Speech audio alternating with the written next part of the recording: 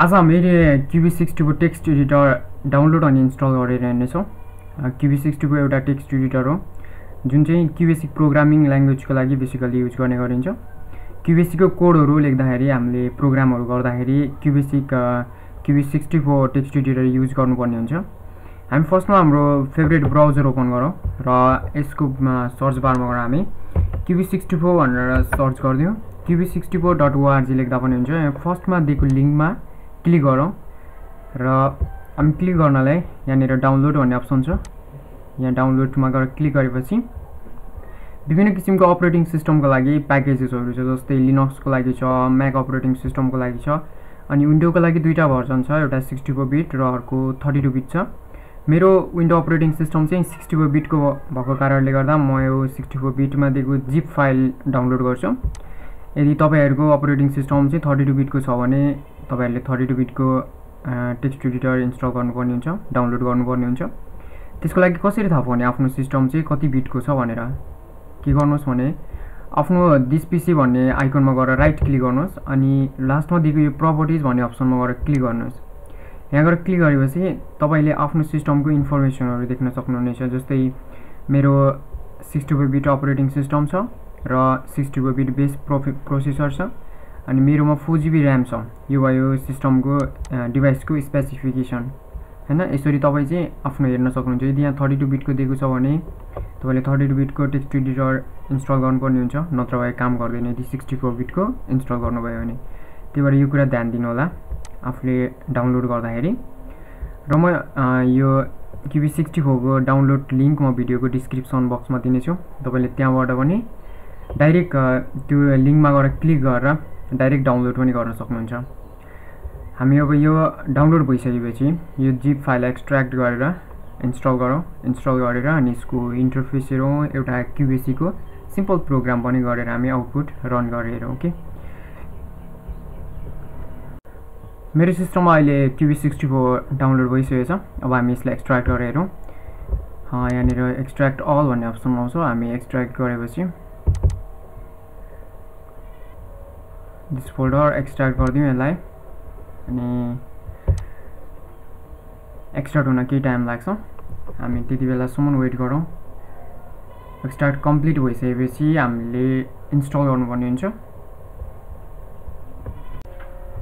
मेरोमा अहिले zip file extract भइसकेको छ म एक्सट्र्याक्ट भएको फाइललाई ओपन गर्छु। ओपन गरेपछि यहाँनिर मसँग क्युबी सिक्सटी फोर लेखेको एउटा एप्लिकेसन आउनेछ यसलाई म डबल क्लिक गरेर ओपन गर्छु। यो हाम्रो क्युबिसिक क्युबी सिक्सटी फोरको लेआउट हो। यहाँनिर ओके गरिदिउँ र हामी यसको अलिअलि डिस्क्राइब गरौँ। माथि दिएको अप्सनहरूको बारेमा हेरौँ हामी। माथि हामीलाई देख्छौँ फर्स्टमा फाइल भन्ने अप्सन छ। फाइलमा गएर हामीले कुनै पनि लेखेको प्रोग्रामलाई सेभ गर्न सक्छौँ। त्यसलाई प्रिभियसली सेभ भएको फाइललाई ओपन गर्न सकिन्छ यहाँनिरबाट। कुनै पनि फाइललाई सेभेज पऱ्यो भने रिसेभ गर्नु पऱ्यो भने नयाँ चाहिएको छ भने हामी कन्ट्रोल प्लस एन गर्दा पनि भयो अथवा यहाँनिर गएर न्यू गर्दा पनि भयो। एडिटमा अप्सनमा हामी कपी पेस्ट गर्न सक्छौँ। एकचोटि लेखिसकेको कुराहरूलाई रिडु अन्डु गर्न मिल्छ। अनि सर्च छ रन भन्ने अप्सनमा गएर हामीले लेखेको प्रोग्रामलाई त्यसको आउटपुट हेर्न सक्छौँ।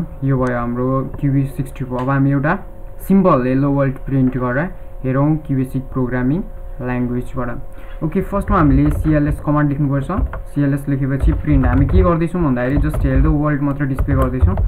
हेलो वर्ल्ड डब्लुआरएलजी वर्ल्ड लेखेर चाहिँ यसलाई हामी यसको आउटपुट हेर्ने हो कि हेलो वर्ल्ड र लास्टमा हामीले इएनडी कमान्ड लेख्नुपर्ने हुन्छ इन्टको लागि। अब हामी यसलाई सेभ गरिदिउँ। यसलाई सेभ गर्नलाई हामी फाइलमा जाउँ।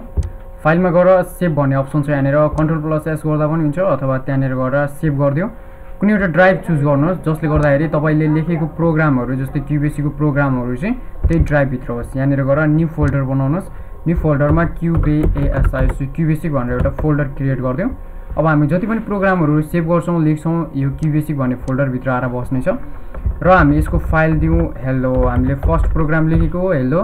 डट बिएएस भनेको क्युबिसीको एक्सटेन्सन हो। एक्सटेन्सनले चाहिँ यसलाई जनाउने गर्छ कि यो हामीले के लेखेको भन्ने कुरा। डट बिएस भनेको क्युबिसीको लागि एक्सटेन्सन हो।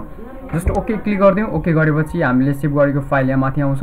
नेम आउँछ हेलो डट बिएस अब हामी रन गर्नलाई रन भन्ने अप्सनमा गएर स्टार्ट गरिदिउँ यहाँनिर। अथवा तपाईँको किबोर्डमा रहेको एफ फाइभ प्रिन्ट इन्टोल गरेर function five F five F five click गरेर पनि तपाईँले आफूले लेखेको प्रोग्राम्सको आउटपुट हेर्न सक्नुहुनेछ।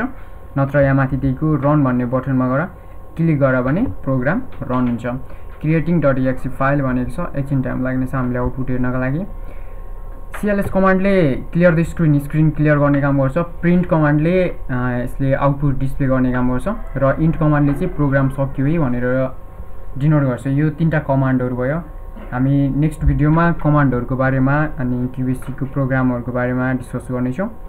यसमा हामी यति एउटा हेलो वर्ल्ड सिम्पल प्रोग्राम लेखेर हेरौँ। यो हामीले लेखेको प्रोग्रामको आउटपुट हेलो वर्ल्ड हामीले लेखेको थियो हेलो वर्ल्ड यसरी आउटपुट आउने गर्छ क्युबेसिकमा हामीले क्युबेसिक प्रोग्राम गर्दाखेरि सोम कमान्डहरू युज गर्नुपर्ने हुन्छ एउटा सेन्टेक्स्ट फलो गर्नुपर्ने हुन्छ। यसरी हामी क्युबेसिकमा प्रोग्राम गर्नेछौँ। Thank you thank you for watching this video हामी नेक्स्ट भिडियोमा भेट्नेछौँ फेरि। Never forget to subscribe my YouTube channel thank you